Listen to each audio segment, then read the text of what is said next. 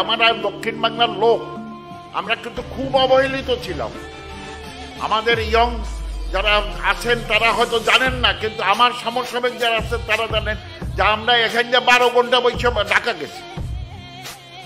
ছিয়ানব্বই সালে একুশ বছর পর, দীর্ঘ একুশ বছর পর আন্দোলন, সংগ্রাম করিয়া আমাদের মাননীয় প্রধানমন্ত্রী ছিয়ানব্বই সালে জয়লাভ করিয়া ক্ষমতা গ্রহণ করার পর আপনি দেখেন এই দোয়ার এই শিকারপুর সেতু হয়েছে আমরা কোনো সময় স্বপ্ন কল্পনা করি যে দোয়ারিকা শিকারপুরে একসাথে সেতু হয়ে যায় এখানে বিশ্ববিদ্যালয় হয়েছে টিচার ট্রেনিং কলেজ হয়েছে বলেন, আজকে দেখেন, আজকে এই পায়রা বন্দর দেখেন। আজকে ওই যে কি কয়, কুয়াকাটা পর্যটন কেন্দ্র দেখেন।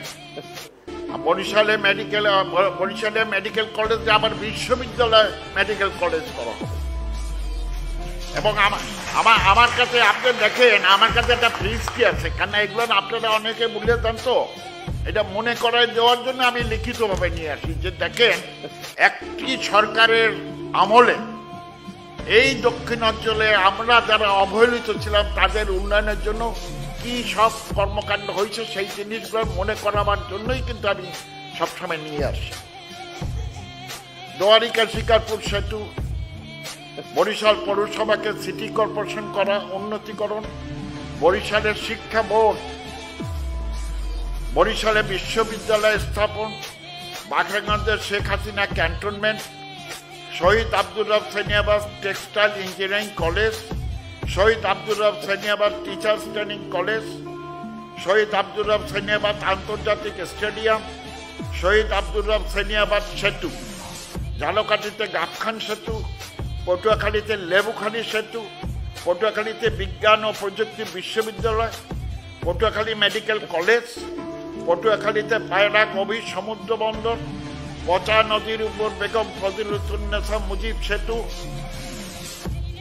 পটুয়াখালী, কুয়াকাটা সড়কে শেখ কামাল, শেখ জামাল, শেখ রাসেল সেতু, পটুয়াখালী, কুয়াকাটাকে পর্যটন কেন্দ্র, পটুয়াখালীতে কোস্টগার্ড অফিস স্থাপন গৌনদীতে textile engineering institute গৌনদীতে technical training centre TTC Barisal chief metropolitan magistrate court ভবন, বরিশাল বিভাগীয় শিল্পকলা একাডেমি কমপ্লেক্স আমাদগঞ্জের দুইশো শয্যা বিশিষ্ট সুকান্ত বাবু শিশু হসপিটাল।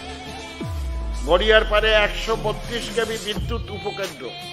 বরিশাল মেডিকেল কলেজ হাসপাতাল এক হাজার বেডে উন্নতিকরণ। বরিশাল মেরিন ইঞ্জিনিয়ারিং কলেজ স্থাপন। পায়রা তাপ বিদ্যুৎ কেন্দ্র স্থাপন। দক্ষিণাঞ্চলের দীর্ঘদিনের দাবি পদ্মা সেতু। ঢাকা বরিশাল সড়ক ফোর লেনে উন্নীতকরণ চলতেছে।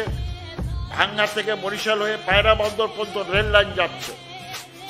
পরমাণু বিদ্যুৎ কেন্দ্র স্থাপন।